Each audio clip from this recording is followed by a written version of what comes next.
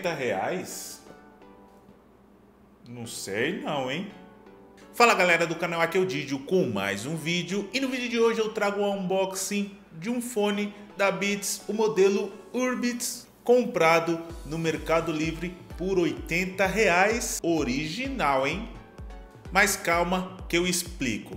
Bom galera, eu recebi um zap do amigo meu falando aqui sobre esse fone, o modelo Urbits da Beats original que estava sendo anunciado no Mercado Livre por 80 reais. Bom galera, eu entrei no anúncio do vendedor lá no Mercado Livre e vi lá realmente o anúncio tá como original, fone da Beats, o R-Beats tudo certinho. E ainda assim tive dúvida, entrei em contato com o vendedor e perguntei como ele vendia esse fone tão barato, sendo que ele custa hoje na loja da Apple 600 reais e nos Estados Unidos você não encontra ele por menos de 60 dólares. Aí entrei em contato com ele, ele comprou um lote da Receita Federal. A gente sabe, galera, que a Receita Federal ela prende muitos produtos todos os dias. Existem muitas importações chegando aqui no Brasil e muitas dessas importações não têm documentação, não tem nota fiscal, então normalmente a Receita Federal apreende todas essas mercadorias. Então essas mercadorias são conduzidas ali a um galpão da Receita Federal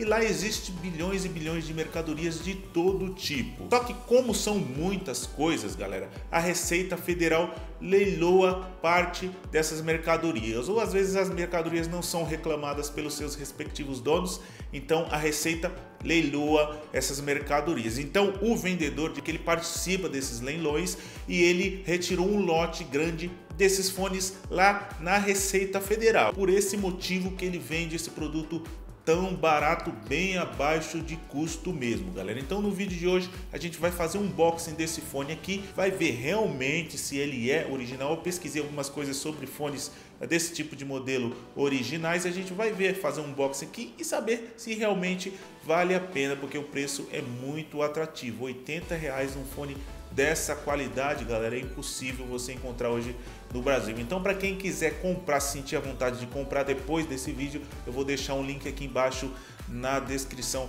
para vocês clicar do vendedor. Lá ele tem algumas cores, ele tem aquele modelo Bluetooth também. Então, já peço que você se inscreva no nosso canal, deixe um like para ajudar a gente, tá, galera? E não se esqueça ativar o sininho aí para receber as notificações dos nossos próximos vídeos. Então, para unboxing.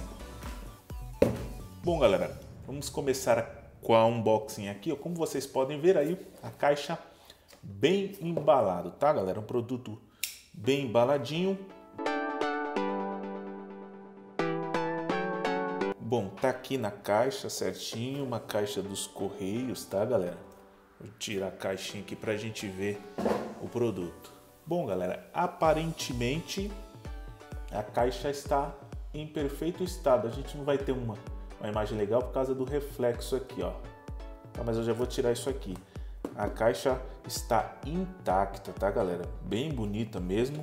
É o modelo Space Gray, ou seja, cinza espacial. Tem um logo aqui, tá? Urbits, certinho.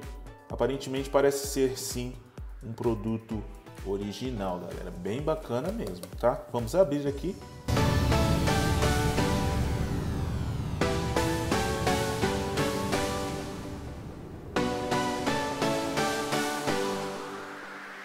Podem ver o detalhe do fone aqui, tá, galera?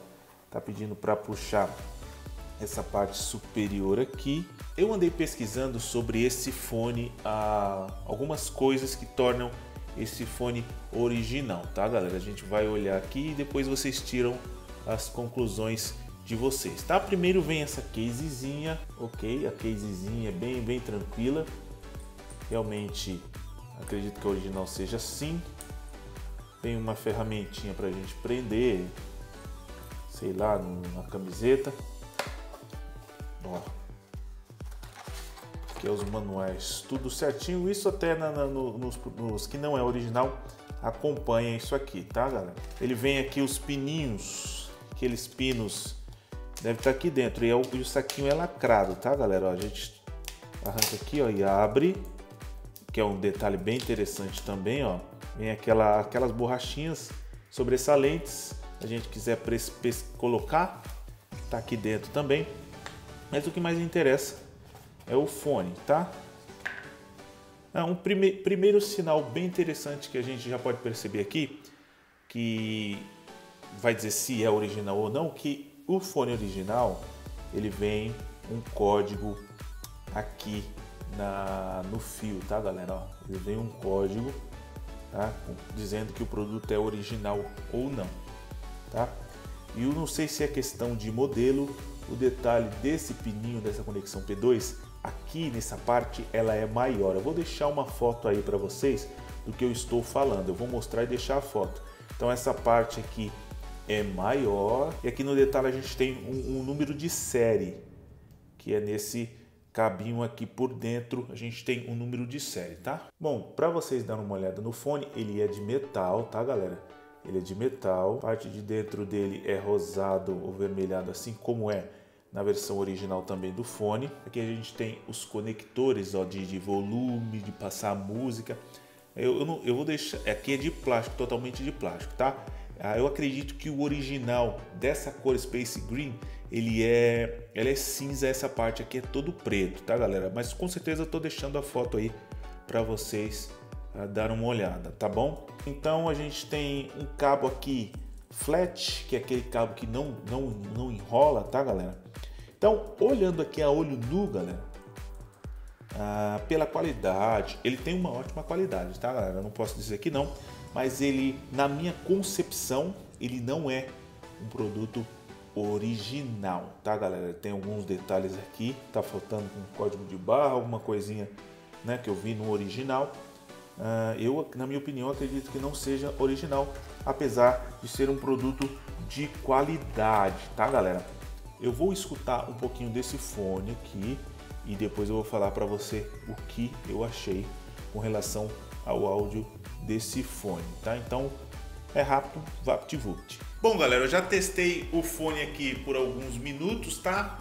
Primeiro, a qualidade dele e a qualidade de áudio que eu tô falando é bem impressionante, galera. Ele tem graves muito bem acentuados. É claro que eu não sou nenhum expert em áudio, assinatura musicais de fone e tal, mas ele tem um áudio bem bacana, um grave bem interessante. A qualidade dele uh, em si é boa, só que ele, bom, falar a verdade aqui para vocês, ele não é original, pelo menos uh, com os vendidos pelos sites da Apple, tá, galera? Alguns detalhes aqui ele não tem a qualidade do fone, é bem fina com relação a um original, tá?